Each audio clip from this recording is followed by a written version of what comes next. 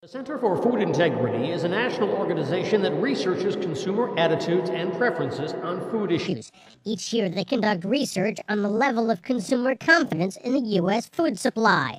Said consumer confidence and trust is at the core of American agriculture. Because we know the growing global middle class is going to continue is going to continue to demand food that is safe, abundant, and affordable, and produced in a manner that's consistent with their values. Produced in a manner that's consistent with their values and produced in a manner that's consistent with their values, and produced in a manner that's consistent with of compassion, of compassion, responsibility of compassion, responsibility of compassion, responsibility.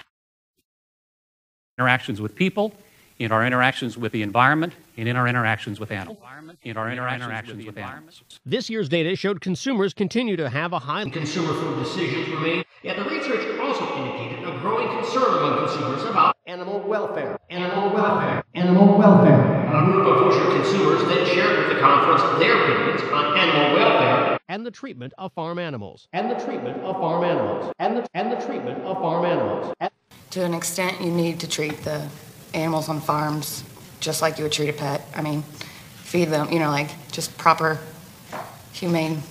I w- I wouldn't see doing some stuff that people I've heard people doing. Just sensitive heart for animals, but at the same time, I I have such a sensitive heart. I have such a sensitive heart for animals, but at the same time, I I have such a sensitive heart for animals, but at the same time, I I do know that. Um, certain ones do have specific reasons for specific reasons for why they're here, and uh, that